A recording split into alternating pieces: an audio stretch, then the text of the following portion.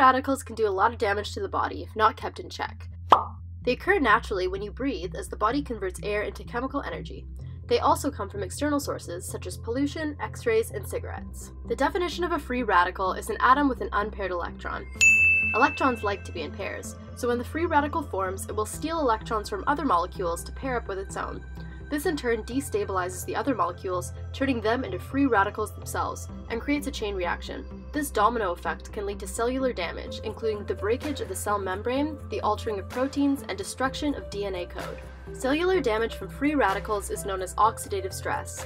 Oxidative stress plays a role in the development of cancer, cardiovascular disease, Alzheimer's, and Parkinson's, amongst other diseases. It also plays a role in aging. In fact, there's a free radical theory of aging that states that we age because of free radical damage over time.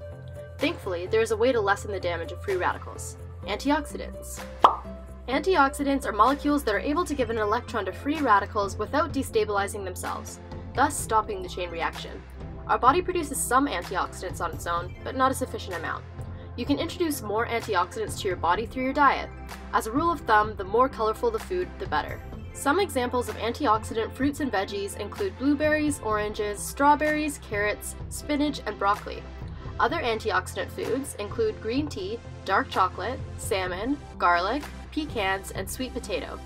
Antioxidant herbs and spices include cilantro, turmeric, ginger, thyme, cumin, and cayenne pepper.